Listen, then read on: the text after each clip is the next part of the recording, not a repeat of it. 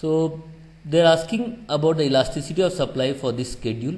Okay, so what is the supply elasticity?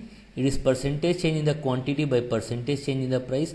We are looking for the point elasticity. So that will be change in the quantity by initial quantity, change in the price by initial price. Let's say suppose this is your initial quantity, this is your initial price. So what is the change in the quantity? Change in the quantity is final minus initial. It is 400 minus 200. It is 200. What is the change in the price?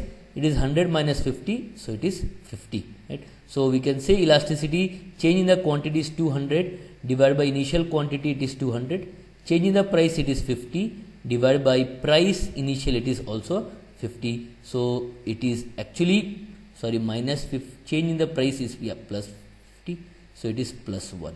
Right. So your elasticity is equal to 1 over here right so it means that this is also called as your unitary elasticity